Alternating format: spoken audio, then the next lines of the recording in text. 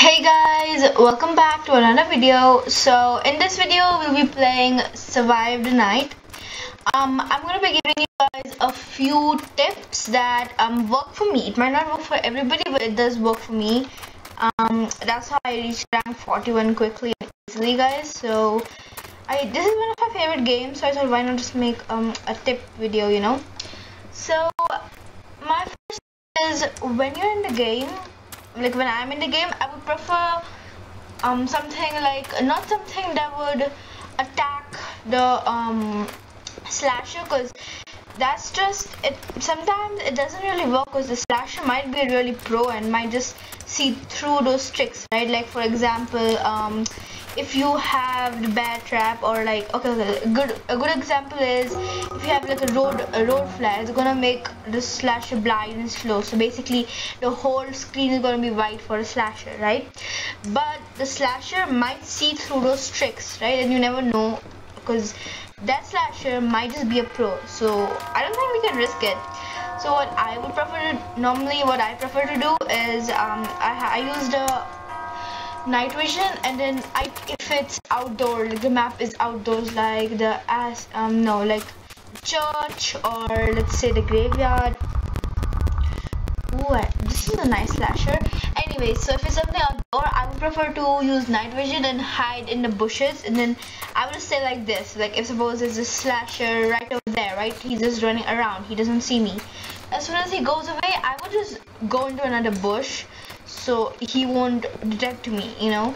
And every time you get the message message you've been this is for this tip is for um people who just started the game. Like while you're hiding in a locker a bush if you're just exploring the map and you get the um, message you've been detected. That doesn't mean it's only you. Everybody who's playing in the server gets that message because the slasher has used the detect um um gear not the gear the power um detection power so he might not choose to find you but then he might so you might wanna just like change positions of where you're hiding or anything. Then if you for this is um that's it for this one. Now we're gonna go for slashers. Um for slashers let me check which slasher I have all the slashers I have guys. Mm, let me see. Yes. So I I have the bunny because is there a new slasher? I should buy the new slasher. Anyways, um, each each slasher has a new power. Like every slasher has their own different powers. Like some like Freddy, um, he has oh I'm a slasher. That's a good example.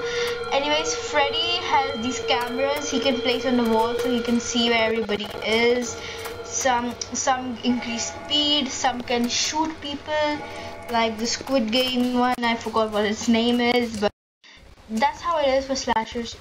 Okay yes guys so this is a slasher i'm using. I really forgot his name exterminator or something i have no idea. So i'm gonna be showing you guys a few tips. Just sharing the tips and how i normally survive. So basically the detection option when you just spawn you can see those red dots. Those little red dots are the players that are um, in the server that you need to kill. So that's why your detection detector is always low on the first at first. So basically I'm not very good at being the slasher guys just so you know I'm very bad at being the slasher. But like my ability is I think I can get I get I can shoot people far away people. I think I get to shoot them if they are there and then you can just taunting basically means you to use the voice you have like that's the one I have. You can get um, different slashes with uh, different um, let's say like different voices. So like the bunny says see you soon. Like that they say things they make sounds. So it's all different. And basically survival night depends on sounds guys. Everything sounds like um if you're a slasher right? And i want to catch somebody i can hear breathing sounds from people. So that helps me catch people. Okay. Okay that helps me catch people. And then if you're the player right? Like you're not you're a survivor that's it. So if you're a survivor um you want you your heartbeat the more your heartbeat increases the closer the slasher is to you right? So if your heartbeat is really fast then the slasher is really close to you. So that's how it works. And um that's it. I'm really bad at being slasher. I would normally keep my slasher off. I don't know why i kept it on this time. So basically detection. So you can see two people over there so i just realized i was going in the wrong direction. How do i get back up? Can i not get back up? But that's few normally my tips guys. Um I would more prefer to hide than because a few of my friends they do like to um just like explore the map and then if they, if they hear the slasher they'll just attack it but then then they do end up dying sometimes. So I prefer not to do that I just prefer to hide because it increases my um like surviving chances Okay, I found somebody, guys. I found somebody. It will normally just increase my chances of surviving hiding because some slashers are like real pros. And you never know, you know? Because like you you might die because running basically you can't really outrun a survivor. Sorry, a slasher. I don't think you can though because like a slasher is much faster.